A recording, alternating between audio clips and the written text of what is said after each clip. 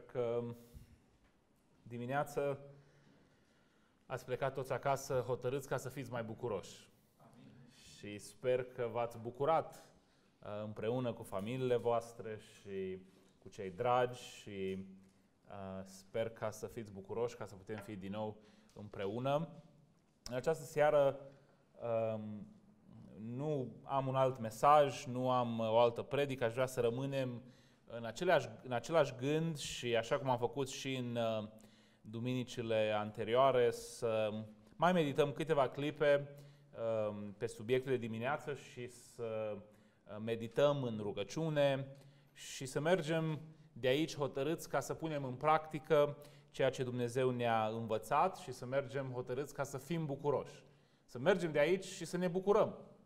Să ne bucurăm cum am zis, de familiile noastre, să ne bucurăm de binecuvântările care Dumnezeu ni le-a dat uh, și să ne bucurăm uh, cel mai mult de Dumnezeu, de relația care o avem cu El și uh, de faptul că suntem copiii Lui.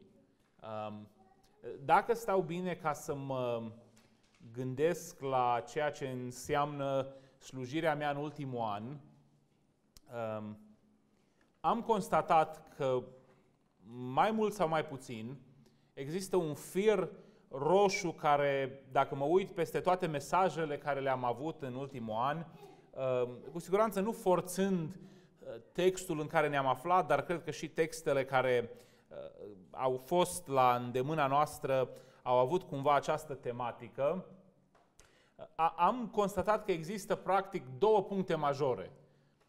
Două puncte majore care le tot regăsesc în fiecare mesaj și le tot regăsesc în uh, multiple texte care le-am studiat și uh, am impresia că uh, Domnul nu mă lasă să trec de aceste două puncte până când nu ne învățăm lecția. Și aceste două puncte majore uh, sunt cam ceva de genul. Primul punct este uh, Dumnezeu este singura noastră sau ar trebui să fie singura noastră satisfacție, de plina noastră bucurie și simt, eu personal simt nevoia și simt nevoia pentru fiecare dintre voi și pentru întreaga biserică să realizăm cât de minunat este Dumnezeu și să-L prețuim pentru ceea ce este. Și în al doilea rând, al doilea punct major care cred că este un fir roșu care leagă ultimul an, este faptul că în cuvântul lui Dumnezeu este ușa spre această bucurie este poarta spre această cunoaștere a lui Dumnezeu și această uh, uh, trăire a unei vieți în care Dumnezeu este valoarea supremă. Și am impresia, și sper să fie o impresie greșită, am impresia că încă mulți dintre noi nu conștientizăm acest uh, lucru despre Cuvântul lui Dumnezeu. Dacă am conștientiza, uh, primul punct ar fi împlinit dacă am conștientizat că cuvântul lui Dumnezeu este sursa, sursa bucuriei și sursa unei vieți transformate și dacă am pune în aplicare această realitate, atunci Dumnezeu într-adevăr ar fi bucuria noastră supremă și atunci într-adevăr am fi niște oameni bucuroși. Și dacă în, într-un an de zile, și poate că mai o să stăm un an de zile pe această tematică centrală, aș putea, și cu siguranță nu eu, ci Duhul Domnului prin mine, să vă convingă de această realitate. Să vă convingă să încercați pe propria piele că în cuvântul lui Dumnezeu este sursa bucuriei veșnice, aș considera misiunea mea ca și păstorul vostru și ca și slujitor al Evangheliei împlinite. Pentru că uh, mai important decât a, a da unui om să mănânce, mai important decât a-i da hrană zilnică, este a-l învăța cum să se hrănească. Acum, când uh, copiii noștri sunt mici, este foarte important să-i hrănim zilnic. Le pregătim în fiecare zi ceva de mâncare și până la o anumită vârstă suntem obligați să le dăm noi cu lingurița în gură. Și este important lucrarea aceasta de a-i hrăni. La fel cum este important lucrarea de păstor, de a hrăni turma în fiecare duminică, în fiecare miercuri, de a pregăti ceva de mâncare și de multe ori ai senzația că ai, ești nevoit să iei tu cu lingurița și să-i dai în om în gură, să zici, măi, gustă că e bun.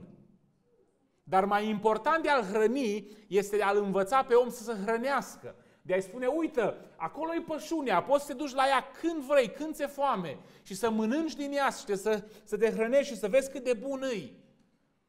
Și asta este dorința mea pentru voi și pentru mine să trăim o viață care este ancorată în Cuvântul lui Dumnezeu, pentru că dacă ne hrănim din Cuvântul lui Dumnezeu în mod constant, Cuvântul lui Dumnezeu produce efecte. Și Cuvântul lui Dumnezeu este acea portiță prin care intrăm în cunoașterea lui Dumnezeu și în relație cu Dumnezeu și prin care vedem și trăim această realitate că Dumnezeu este bucuria noastră supremă. Și dacă Dumnezeu este bucuria noastră supremă, dacă Dumnezeu este Cel care împlinește toate nevoile noastre, dacă Dumnezeu este Cel care satisface toate dorințele noastre, într-adevăr vom trăi niște vieți transformate. Vom trăi niște vieți total diferite decât cei din jurul nostru. Vom avea priorități diferite. Este foarte, foarte ușor, foarte, foarte ușor ca să vorbești despre lucrurile care lumea ar trebui să le facă. Și vreau să mai spun un secret. Este aproape la fel de ușor ca să-i faci pe oameni să le facă. Este ușor, relativ vorbind, să creezi um, uh, o atmosferă sau să creezi condiții prin care să obligi pe oameni să facă anumite lucruri. Să zici, măi, eu vreau ca oamenii din biserică să facă cu tare lucruri, nu știu, să dăruiască mai mulți bani la biserică. Ca un exemplu, mulți păstori sunt obsedați de problema asta. Sau uh, să fie nelipsiți de la adunare. Și există modalități prin care poți, prin uh, uh, presiune asupra, asupra lor, prin a crea un context în care uh, omul se simte uh, cumva marginalizat sau alte metode, să-l faci pe om să reacționeze în așa fel încât omul înțelege, măi, eu trebuie să fac lucrurile astea. Și dacă nu le fac, există consecințe și ca tare le fac ca să nu sufer consecințele. Este imposibil, decât prin lucrarea Duhului Sfânt, ca să ajungă omul ca el realmente din adâncul inimii lui să vrea acele lucruri și să dorească acele lucruri. Ca tare, eu sunt dezinteresat de a avea o listă de uh, uh, lucruri care sunt legiferate, care membrii bisericii le fac pentru că sunt obligați. Sunt total interesat să văd că noi, ca și frați, suntem realmente preocupați de aceste lucruri. Că ne dorim aceste lucruri. Am putea, de exemplu, ca să uh, încercăm să legiferăm citirea cuvântului. Să avem o grilă cu punctaj și să spunem uh, în fiecare zi o să verificăm dacă ai citit și dacă n-ai citit, scaz în punctaj și la un moment dat te dăm afară din biserică. Poate n-ar fi o idee rea lucrul ăsta. Da? Dar nu este tot una cu realitatea care se produce în inima omului atunci când Duhul Sfânt îl transformă și el, de bunăvoie și nesilit de nimeni, ca și în căsătorie, da? de bunăvoie și nesilit de nimeni, tânjește după cuvântul lui Dumnezeu. Tânjește după cuvântul lui Dumnezeu. Deși dacă nu tânjiți, așa cum ziceam în uh, alte mesaje, dacă nu tânjiți și dacă nu aveți acea dorință, dacă treceți printr-o perioadă de depresie spirituală, de multe ori este uh, nevoie și este benefic să te forțezi. La fel ca și un pacient la spital care este într-o stare în care nu poate mânca, nu se poate hrăni, sau poate nu vrea din cauza că este într-o stare psihică um, nepotrivită și este nevoie ca doctorii să-l hrănească cu forța, să-i pună uh, uh, intravenos dacă e nevoie și să fie hrănit, am zice noi, contra voinței sale. Deși în adâncul lui el vrea să trăiască și să se facă bine, dar starea lui este de așa natură încât este nevoie de acțiune drastică. Poate pentru mulți dintre noi este nevoie de acțiune drastică. Este nevoie poate ca să uh, ne creăm o conjunctură, să, să vii de bunăvoie și să zici uh, către un frate, frate, uite care e situația. Eu nu sunt stare să citesc cuvântul Domnului dacă cineva nu mă trage la răspundere. Știu că trebuie, vreau ca să-l citesc, te rog eu frumos, sună-mă în fiecare zi și întreabă-mă. Ar fi o, o cerință legitimă de la un frate în biserică să te duci la el și să zici, frate, eu vreau ca tu să mă suni zilnic să mă întreb dacă mi-am citit din Scriptură astăzi. Ar arăta un grad de spiritualitate și de maturitate ridicat în care recunoști uh, lacunele tale și în care recunoști nevoile tale și uh, te folosești de instrumentele Harului care sunt în jurul tău ca să uh, rezolvi problema. În sensul acesta, ideea de a fi oameni bucuroși și de a împlini această poruncă care am văzut dimineață uh, de a fi bucuroși întotdeauna este până la urmă, așa cum am văzut, ancorată în aceste uh, două aspecte majore, de a vedea gravitatea păcatului și mai ales de a vedea gravitatea păcatului din viața noastră și de a vedea valoarea infinită a darului Dumnezeu. Și dacă aceste lucruri le avem tot timpul în vizor prin ceea ce facem, dacă aceste aspecte le avem în vizor, în mod natural sau în mod supranatural, mai bine spus, prin lucrarea Duhului Sfânt, vom vedea că devenim oameni mai bucuroși, oameni mai împliniți, mai satisfăcuți cu viața care o purtăm, pentru că vom vedea, pe de o parte, starea în care am fost sau în care suntem și vom vedea uh, lucrarea minunată care Dumnezeu a făcut-o și o face în mod constant în viața noastră. Când vorbim despre gravitatea păcatului, în primul rând, trebuie ca să vedem, cum am zis dimineață, faptul că este o ofensă infinit de mare. Este o ofensă infinit de mare care uh, aduce în urma ei o pedeapsă infinit de mare și o pedeapsă veșnică și lucrul acesta trebuie ca să-l conștientizăm tot timpul. Și cuvântul Domnului ne ajută ca să vedem lucrul acesta și să realizăm cât de mare este ofensa păcatului și cât de gravă este pedeapsa care se cuvine pentru această ofensă adevărul e că nu ne place să ne gândim la aceste lucruri. Nu ne place să citim despre iad, nu ne place să vorbim despre iad, nu ne place să medităm asupra iadului, dar este sănătos ca să te gândești la aceste lucruri. Un, un psiholog renumit spunea că uh, uh, majoritatea acțiunilor din viața unui om sunt uh, de așa natură de a împlini un singur scop, de a evita gândul morții. Tot ceea ce facem în viața noastră este să evităm realitatea că în curând, într-o zi, poate mâine, vei muri. Și toată activitatea ta din fiecare zi este să-ți ocupi timpul și capacitatea creierului să nu te gândești la această realitate că mâine s-ar putea să mori. Dar este o realitate totală. Și el zicea că motivațiile noastre, în, în acțiunile noastre, în căutările noastre, este să evităm această realitate prin tot ceea ce facem. De aceea Uh, uh, mergem la lucru, de aceea căutăm hobby-uri, de aceea ne căsătorim, de aceea avem copii, ca să ne gândim la alte lucruri și să ne umplem viața cu alte lucruri decât cu realitatea că vom muri. Pentru că pentru psihicul omului, conștientizarea constantă că el va muri este prea mult ca să rămână în picioare. Ei, pentru creștini nu este așa. Conștientizarea că există o pedeapsă veșnică, conștientizarea că există moarte, conștientizarea că viața aceasta se sfârșește și că fără Hristos eternitatea este în iad, nu este ceva care ne dărâmă, pentru că problema aceasta pentru creștini a fost rezolvată ci este ceva care ne întărește și ne motivează ca să trăim vieți care sunt diferite. Conștientizarea că moartea este iminentă și că pentru cei care nu sunt în Hristos, pedeapsa este veșnică, ne motivează pe noi să trăim altfel. Nu ca să câștigăm acea veșnicie, ci pentru că am primit-o în dar de la Dumnezeu. Și dacă pedeapsa este veșnică și dacă ofensa este infinită, nu trebuie ca să Uh, pierzi din vizor faptul că efectele păcatului sunt temporale, adică păcatul care te condamnă pe veșnicie, dacă nu este tratat de jertfa lui Hristos, te condamnă și aici pe pământ.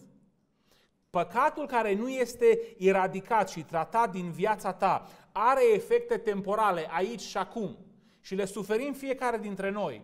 Atunci când există păcat în viața noastră care nu este recunoscut, care nu este tratat ca și ceva foarte grav, el afectează în mod negativ lucrurile de aici și acum. Când relația noastră cu Dumnezeu nu este bună, când pe, pe vertical lucrurile nu merg bine, pe orizontal lucrurile merg la fel de prost sau mai prost. Dacă avem probleme în biserică, dacă avem probleme în familie, dacă există neînțelegere între soț și soție, dacă există neînțelegere între frați, dacă ai probleme în viața de zi cu zi, dacă ești nervos, dacă ești supărat, dacă uh, aspectele astea vieții sunt negative, mai mult ca sigur este pentru că există păcat în viața ta care își face efectul negativ. Este foarte ușor și în relațiile personale. Uh, observ eu din viața mea, când uh, ai o ceartă cu cineva drag, cu soția, cu un prieten, este foarte, foarte ușor ca să vii cu justificări. Ei, dacă mi-ar fi vorbit altfel, ei, dacă ar fi fost el altfel. Dar dacă ești sincer cu, cu sine și te uiți în viața ta și dacă păcatul n-ar fi prezent în viața ta și n-ar afecta gândirea ta și felul în care reacționezi, cât de rău ar trebui să fie cineva în viața ta încât să poată să distrugă relația care o ai? Ar fi imposibil.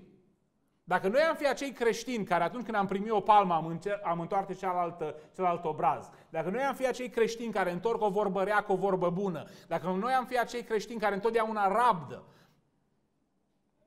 până la urmă și cei din viața noastră n-ar avea ce să ne facă. Negativ vorbind.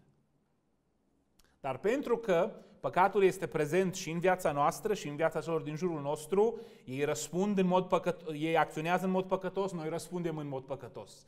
Ei se revanșează, noi ne revanșăm și lucrurile decurg în mod uh, carnal și natural. Și resimțim aceste efecte în viața noastră.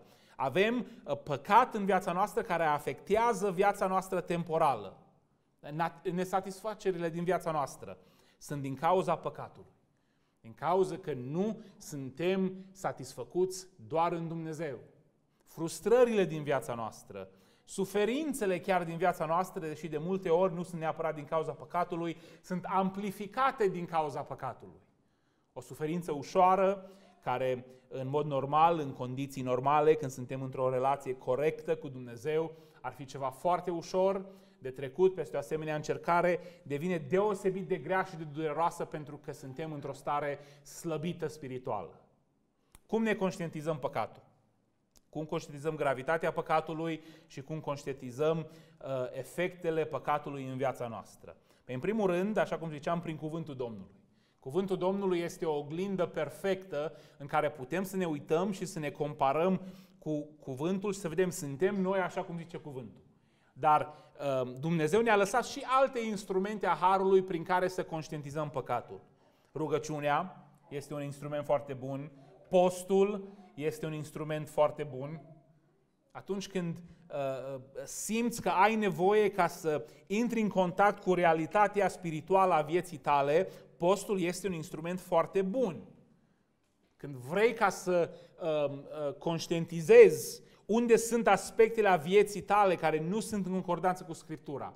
Când vrei ca să vezi unde sunt aspectele din viața ta în care Dumnezeu nu este hrana ta, în care El nu este pâine și apă pentru tine, sunt puține lucruri mai eficiente decât să te, uh, uh, uh, să te să dai la o parte hrană și uh, apă în așa fel încât să te confrunți cu aceste realități. Frații tăi sunt un instrument a harului foarte bun prin relațiile care le avem. Și nevoie ca să avem relații autentice, relații de creștini, în care să ne confruntăm cu aceste um, realități. Ziceam mai de mult, nu știu dacă am dat acest exemplu, dar trebuie să avem un tipar simplu, dar eficient, prin care să avem aceste relații și uh, în gândirea mea există trei elemente importante, și anume cuvântul, adevărul și rugăciunea. Dacă aceste trei elemente nu există în relațiile noastre personale între frați, relațiile noastre sunt mai puțin decât autentice. Cum arată o asemenea interacțiune reală prin care să te poți confrunta păcatul tău și să lucrezi la lucrurile din viața ta? Are aceste trei elemente. Este o întâlnire care uh, are uh, ca și punct focal cuvântul lui Dumnezeu. Dacă îți sun pe un frate din biserică și zici, frate Cipri, hai să ne întâlnim peste trei zile sau ne întâlnim la un ceai.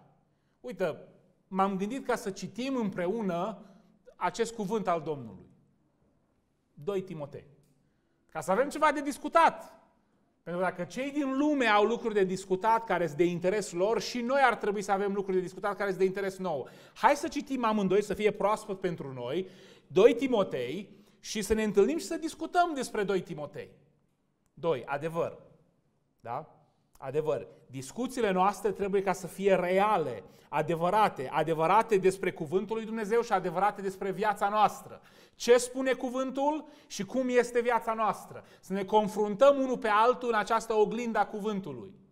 Să ne propunem ca să ne tragem la răspundere. Să zică fratele Cipri către mine, frate Mihai, data trecută am vorbit că vei face cu tare lucru. Vei citi din Biblie zilnic. Cum merg lucrurile? Păi știi, am fost în concediu, a fost drumul lung, mi-a fost greu. Frate, înțeleg, dar știi? Adevărul este că cuvântul e mai important decât drumul lung sau concediu sau toate astea, da? E nevoie de interacțiune adevărate.